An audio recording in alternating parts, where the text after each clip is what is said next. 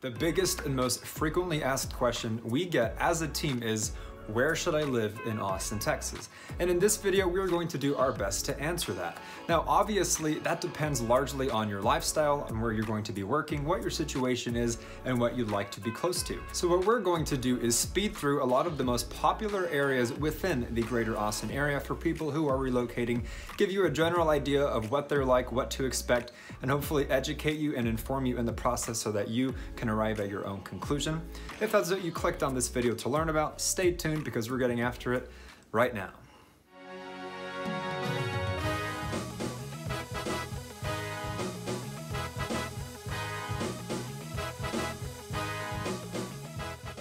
Hello again guys and gals, if this is your first time to the channel, my name is Frank and I'm part of a team at the award-winning JP Goodwin Brokerage right here in the exemplary Austin, Texas.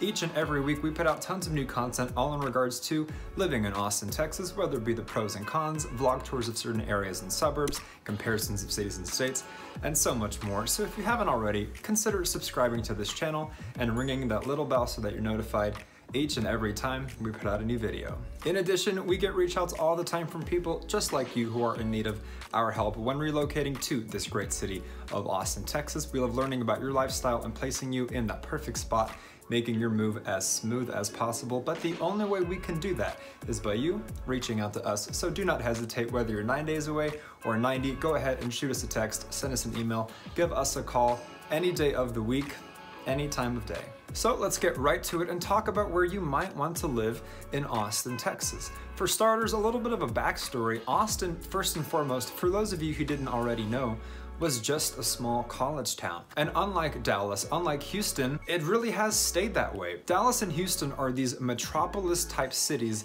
that grew according to their population, to their popularity. Whereas Austin, uh, so many people flocked here and it just exploded before the city's infrastructure could really grow with it. So what you have all these years later today is still, if you've ever visited, a small college town. I mean, if you go downtown, you're not in a metropolis even all these decades later. It's still quaint, it's still charming, it's still small in comparison to its neighboring cities. But don't let that deceive you. The cool thing about Austin that throws a lot of people, a lot of the clients we've helped when coming here is yes, the city itself is still small like a college town, but its greater area, Williamson County and Travis County, has since grown and expanded so, so much to where, yes, you have the small city, but then you're looking at all these areas in such a big state of Texas, by the way, that really makes Austin deceivingly large. And so the reason I bring that up is it could be so easy to talk about South Austin, East Austin, West Austin, North Austin, Central, Downtown Austin as the totality of what you can expect. But the reality of the situation is you have now all of these outskirts, all of these suburbs, all of these respective smaller cities that so many people are choosing to flock to, which we'll be getting to in this video. And just a heads up, in this video, unlike many of our previous videos, we're going to really just try and breeze through these areas, give you general, somewhat vague information, the cliff notes if you will. But if you're wanting something more in-depth, I encourage you to check out a lot of our other videos which are much longer and much more specific to each particular area. And if you are curious about a certain area that we haven't yet done an extensive video on, a very long video on, go ahead and drop it in the comments down below so that we can know what to make in the future for you guys. Now with all that out of the way, let's start with a very popular location and that would be South Austin. So what you can expect in South Austin, generally speaking, is going to be a younger demographic, a younger professional type of scene. It isn't necessarily where a lot of families like to go, although we've seen it and it happens all the time, but it isn't the most popular place for families. What you can expect there is going to be what I like to call Old Town, meaning it's rich in history. A lot of the homes there are older. A lot of the homes there are quaint. You're going to have your historic boutique shops. You're going to have gift shops. You're going to have touristy things. And it really is a prime location within downtown Austin because you're close to South Congress. You're close to Zilker Park and you're close to so many of the things that people flock to Austin to do, which is why the area is in such high demand. We recently did a video titled What $400,000 and Less Can Buy You in Austin, Texas. And one of the places we explored in that video was South Austin. And to give you an idea, we found one that was just shy of 400,000 and it was maybe 15, 1700 square feet, three bedroom, two bath from the 80s. That is your middle of the road option. That is what you can expect if you're not in a position to really stretch your budget and live larger. With its obvious proximity to the heart of downtown Austin, it's not going to be your suburban life. It's going to have tremendous walkability as opposed to suburban life. It's going to have endless things to do as opposed to suburban life. So if locally crafted beer is your thing, if pizza is your thing, if live music is your thing, if easy access to all of what Austin has to offer is your thing, then look no further than South Austin. Now let's move right along to East Austin. And if you're looking on the map, it is east of downtown Austin. What you can expect in East Austin is going to be very, very similar to South Austin because of how close it is to South Austin. But what makes East Austin more distinct and unique is that it mixes the old historic culture of Austin, Texas with a more artistic and eclectic culture. In my experience, you're going to see more murals in East Austin. In my experience, you're going to see some more exhibits or museums in East Austin. East Austin being such a rapidly growing neighborhood within the downtown Austin area is going to be a beautiful marriage of old and new, the yin and yang. And in terms of the homes there, you can really expect something on par with what you can get for South Austin. If you have a normal budget and you're not really looking to stretch it, you can expect much of the same. Quaint houses, older houses, smaller houses. But the trade-off is you're right in the heart of everything that's cool, that's hip, that's popular. So in my opinion, East Austin really is underrated. The only thing that I can really take away from it is the growing conversation among Austinites that there is a homeless situation going on that the city of Austin is trying to change. They're talking about how they want to fix it and I don't know it's it's a messy situation I'm not saying it's unbearable and many people live in East Austin and they very happily live in East Austin but that is something since I keep it brutally honest on this channel that I thought I'd mention it is when you go to check it out not alarming, but it is something you notice, uh, as opposed to South Austin or the other parts we're gonna get to in this video. Now moving right along, because as mentioned, this video is intended to be a little bit more expedient than our other thorough, longer videos. Now we're gonna talk about West Austin. Now what's interesting about West Austin is it really is different, uh, out of left field when compared to South and East. Honestly, South and East are so similar, I could have just mentioned them under the same umbrella because I did have a lot of the same things to say about them, but West Austin is just a different flavor. West Austin is going to have Bee Caves, it's going to have Lakeway, it's going to have Westlake, the Oasis, Steiner Ranch, and so much more. And what can be expected in these areas is going to be more exclusive, prime, expensive real estate. The demographic is going to shift a little bit. It's not going to be as many young professionals hustling in the hustle and bustle city of Austin. West Austin is going to be waterfront properties. West Austin is going to be more scenic. You're going to have the hills. And it's exclusive to the point where in that $400,000 or less video that we made, I didn't even mention it because not to say you can't find anything out there for 400 or less, but the pickings are so slim compared to the other areas in Austin that really your median for much of these places within West Austin is going to be in the 600s, the 700s. Certain areas and neighborhoods are even with a median of over a million dollars. The beautiful thing about West Austin, however, is that you are within such proximity still to downtown. You are within proximity to any other area within the greater Austin area, largely because you are close to Mopac, which is a very popular freeway here, and you're close to 183. So in addition to its scenery, in addition to its luxury, what you're also paying for is really a perfect mix of everything. You really have everything you want in West Austin. You're close to whatever stores you want. You're close to downtown. You're close to the burbs. You've got the lake. You've got the hills. What more could you ask for? But you pay the price for it. Although I realize in this video, I'm not speaking to everyone who's you know limited to a budget of three four five hundred thousand if you are someone who is moving from san francisco or new york and you have money to play with i would absolutely explore west austin it's not all going to be in the millions and a lot of it is going to be something you can find that you will fall in love with. In addition to that, we did do a vlog tour of West Austin, so if you're curious to see it as opposed to just hearing me talk about it, I do recommend you check that out. All right, breezing through our cliff notes here, we're gonna move right along to North Austin. And if you're wondering why I'm skipping Central Austin, in my opinion, if you didn't know this, Austin is home to the University of Texas. So in that very central part of downtown Austin, you really are going to find more students, you're going to find more on and off campus living. So for the sake of people relocating here who are adults, who are working professionals, who either have a family, I am going to pass on elaborating on what you can expect around the campus. It really is more or less what you can expect in any major college town. So yes, onward to North Austin. Now what's interesting about North Austin is it really pales in comparison to South or East Austin in terms of the vibe, in terms of the aesthetic. North Austin is where you're going to start seeing more shopping. North Austin is home to the Domain, which if you haven't heard of it is a staple now within the greater Austin area because it is the mecca for shopping, for entertainment, for restaurants, for bar hopping, for clubs, for smoothie shops, for the Apple store, really anything you can think of. People love to live at, work at, and go to the domain. So following suit, a lot of North Austin is going to be more contemporary. It's going to be more modern. It's going to have less of the downtown charm and more of a futuristic feeling. And it should go without saying that North Austin is also home to the tech hub here in Austin. If you haven't gotten the memo, Silicon Valley from San Francisco has been flocking here, creating what has been dubbed Silicon Hills here in Austin, Texas.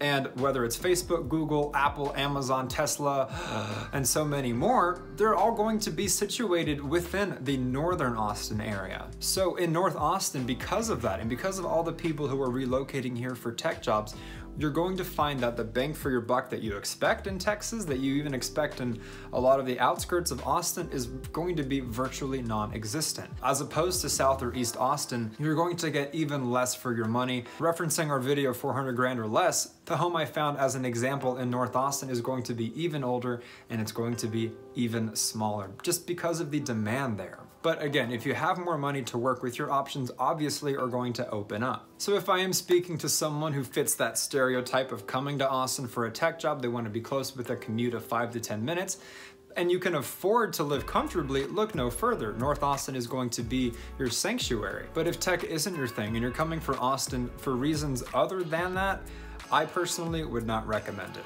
Now before moving on to other very popular areas for relocation within Austin, Texas, go ahead and drop a comment down below. Which areas did we miss? What agreements do you have? What disagreements do you have? What questions do you have for us? Go ahead, drop them all down below so that we can get involved with you guys. In addition, consider liking this video as well as it really helps our channel grow, defeats the algorithm, and tells us that we're doing a good enough job providing some value for you. And lastly, if you have anyone in your life, a parent, a friend, a spouse, a child, who you know is considering relocating to Austin, Texas and would like to learn more about it, go ahead and share our content with them and spread the good word. Now moving right along, we've already covered the Metro Austin area and the popular locations you can expect to find within it, and now it's time we explore more the outskirts of Austin where it really shows its size and really diversifies its portfolio with what it can offer you. Something else I'll mention is that North Austin, South Austin, East Austin, and Central Austin are all going to be zoned for the Austin Independent School District. So if you are a parent or if you are going to be a parent, you're thinking about starting a family, to give you an idea, according to Niche.com, the Austin Independent School District is respectable, yes, but it isn't in the top tier of school districts. Those are what you're going to find in the later areas I touch on in this video. Not to say that the schools in South Austin or East Austin or North Austin aren't respectable, they are still going to get lower grades, lower scores according to niche.com as opposed to these other more suburban areas. And if you're really intent on learning about the schools here in Austin, Texas, we did make a video ranking the best districts in the whole area. So be sure to check that out if that's the information you're specifically after. So now let's finally talk about Pflugerville, Texas. What's important to note is that throughout Austin's evolution and growth, your two main methods of travel in terms of passing through Austin, Texas are going to be 183 and are going to be I-35. So when looking at 183 and I-35, you're going to see Cedar Park, you're going to see Leander, you're going to see Round Rock, Georgetown, and what leads us to Pflugerville. Pflugerville is one of the first towns to really evolve and explode outside of the downtown metro area. And what's great about Pflugerville, what brings a lot of people to Pflugerville is simply the fact that you are within such proximity to either the tech world or downtown Austin. So if you're commuting to either place, Pflugerville is going to be a match made in heaven because you're not stuck in the thick of it. And another thing that attracts people to Pflugerville is that it's not going to be as far as Round Rock. It's not going to be as far as Georgetown or Leander for that matter. Pflugerville itself is also rich in culture, so you're going to have lots of different things to do. Similar to downtown Austin, you're going to have your local bars and shops, you're going to have your restaurants. There's even Lake Pflugerville, there's Typhoon, Texas, which is a local water park. You're going to have older, more affordable homes in Southwest Pflugerville, closer to downtown, and you're going to have newer, more expensive builds in Northeast Pflugerville. It really does have everything you want, and it has a wide variety of price ranges as well well. And lastly, Pflugerville School District is quite respectable. I personally would put it above the Austin Independent School District. Niche.com would do the same. However, I wouldn't quite put it up there in the realm of Leander, Round Rock, or the Eanes Independent School District, which happens to be that Westlake area. So now let's move on to Round Rock, Texas, which is just a little bit north of Pflugerville, depending of course on where in Pflugerville you live. It can be a five minute drive or it can be a 20 minute drive. Round Rock happens to be the largest city outside of downtown Austin. It is also home to Dell, as in Dell Computers, which always astonishes me because I expect these big companies to be in San Francisco or something like that. But no, Dell is located at the heart of Round Rock. And in Round Rock, you're going to have Dell Diamond. You're going to have a very charming downtown as well. You're going to have Round Rock Premium Outlets. You're going to have IKEA. Round Rock really is, even though it's its own city, the definition of suburban life. Whereas Pflugerville, in my opinion, kind of is a hybrid of suburbia and the downtown life. Round Rock is full blown suburban life. Very commercial, very big box, and it's going to have a number of master planned communities. The one to note would be Teravista. It has a golf course, it has an elementary school, it has a pool, it has a number of different builders so that no home is quite the same as the other. And a neighborhood like that, for example, will range starting from the mid threes all the way to around a million bucks. So you do have your pick of the bunch. In addition, a lot of people who live in Round Rock and actually Pflugerville as well like to live there because of the proximity to their work. A lot of people in Round Rock work in Round Rock. And if they don't, they're just a quick 15 minute drive from the tech hub or maybe 20, 25 from downtown. And lastly, with Round Rock, this is arguably the greatest school district in the totality of Austin, Texas. It has about 40,000 students. It has a superb graduation rate. It has very respectable ACT and SAT scores. And it recently got Kalahari, which is the country's largest indoor water park, which also has an arcade, which also has shopping and fountains. So yeah, Round Rock is a fantastic option if you'd like to be within arm's reach of downtown, but in your own suburban bubble. Now moving even further north, another 10 to 20 minutes above Round Rock, you're going to find Georgetown. And Georgetown is a very popular place for relocation, at least from the clients we've helped. One of the biggest downsides to Georgetown, however, is its distance from downtown or even its distance from the tech world. Um, I keep mentioning that, I don't mean to be redundant, but why do so many people relocate to Austin? Aside from its bang for your buck, the tech jobs. So yes, Georgetown is going to be, depending on traffic, about 40 to 45 minutes north of downtown and maybe about a half hour from the domain tech area. However, what's great about Georgetown is unlike any other suburb, city, town outside of downtown Austin, Georgetown is the most quaint. It's the most charming. It has a small town. It has its own downtown. It has wineries. It has a local theater for comedy. It has a number of nature locations as well, starting with Lake Georgetown and a number of other public parks. And it's home to its own very highly rated university. So Georgetown really does have it all. If you want a home on acres, look to Georgetown. If you want a brand new build near some land, look to Georgetown. If you want something historic, 1800s, mid 1900s, look to Georgetown. And if you want bang for your buck affordability, look to Georgetown because you could probably find a $400,000 house there with a pool, maybe your theater room near a golf course. Lastly, in Georgetown, it has its own Georgetown Independent School District, which again, not to be redundant, is a very respectable school district but smaller and not necessarily as comparable in terms of grades and scores, according to Niche.com, as perhaps Round Rock or Leander. And since I mentioned it, let's move on to Leander, Texas.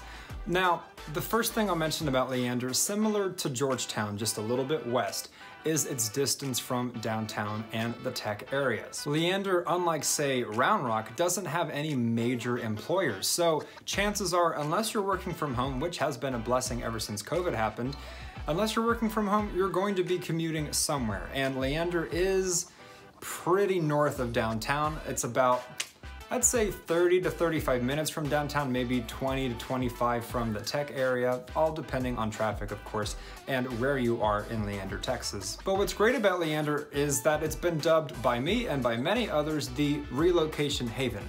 It is an investor's dream, for example, or it is a homeowner's dream who might be relocating again later to buy in Leander and watch it appreciate like crazy. The reason for this is that even though Leander currently is dare I say boring, I don't mean to piss off anyone watching this living in Leander, but there just isn't that much to do as of now. See, the reason why it's a relocation haven is because it's on a trajectory to absolutely explode. Leander has plans to build Northline, which is essentially going to be the sequel to the Domain. It's going to be absolutely massive and it's going to really put Leander on the map. In addition to that, Leander is also building a lagoon, which is going to be full of restaurants and shopping. So that's going to create more people moving to Leander, and that's going to create a boom in its economy, a spike in its job market. But again, that hasn't happened yet. So as it stands right now in Leander, you've got grocery stores, you've got schools, you've got churches, um, I will say you've got good parks though. One of my favorites is the Veterans Memorial Park. I've taken my corgi there a number of times. Beautiful place to let your dog run around and have fun with the other dogs but that's about it. If you want to do anything really fun, you look out of Leander. The same goes with jobs as well. Now, where Leander really excels is its affordability. Leander is an easy place to get into. The previously owned homes might range between 4 and 450 on average, but a new build before options can be as cheap as the high 200s or the low 300s. And what's really cool is that Leander also offers quite a range if you have a lot of money to play with. Similar to West Austin, the Westlake area with the hills and the scenery, Leander has something similar in its Crystal Falls community and in its Travisso community.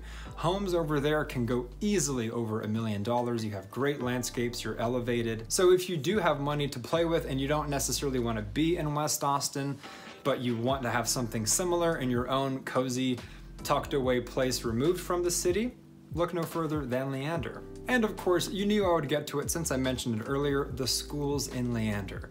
In my opinion, Leander is the greatest school district that the totality of the greater Austin area has to offer. Now, many could easily argue, and I wouldn't necessarily disagree that Round Rock could be the best, and when you're looking at the two, it's really all about splitting hairs because they are both so respectable and held in such high esteem. The Leander Independent School District has about 30,000 students with elite graduation rates and fantastic ACT and SAT test scores.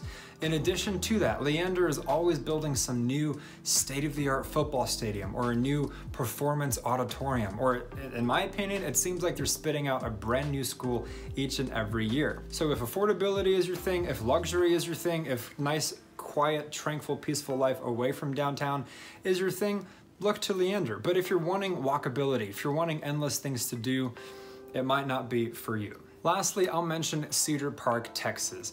Now, Cedar Park is interesting. It holds a special place in my heart because I spent a lot of time there growing up, but it's also perhaps the most boring of all the other places. I would say Leander's similar to it in terms of things to do, but as I mentioned, Leander has a trajectory of so much growth and explosion, whereas Cedar Park is kind of established. It's, it's already kind of had its own peak. It's also significantly smaller than Round Rock, Pflugerville, Georgetown. But what's cool about it is it's kind of like this underrated, tucked away suburb. It is its own city, it has its own zip code, but I'm just gonna call it a suburb because it's easier.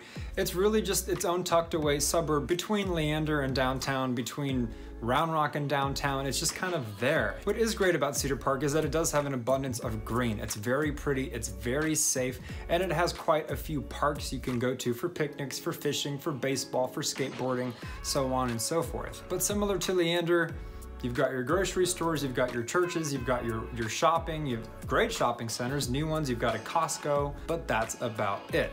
However, what's cool is that Cedar Park being south of Leander, for example, and just a little bit north of North Austin, you're pretty close to the tech hub. So in my opinion, a large number of people who live in Cedar Park are people who work in the tech field, a bit of a younger demographic, maybe 30s or 40s, who are starting families. That is that perfect storm, if you will, um, that Cedar Park has to offer. If you drive five minutes south, you're in North Austin. If you drive 10 minutes east, you're in Round Rock. If you drive 10 minutes north, you're in Leander. So it is well located as well. Your homes in Cedar Park, to give you an idea, are going to be pretty middle of the road. You're going to find a lot of them in the four, fives, six, and seven hundreds. You might find some a million plus, but it's not going to have such a selection per se as Leander, Texas. Also, if you're wanting to get into something cheap and new, Cedar Park has some, but it also won't have quite as much to choose from as compared to say Leander, Georgetown, or Round Rock. Cedar Park is great for those who want something a little more suburban than Pflugerville, or who might not have found something very affordable or reasonable in North Austin.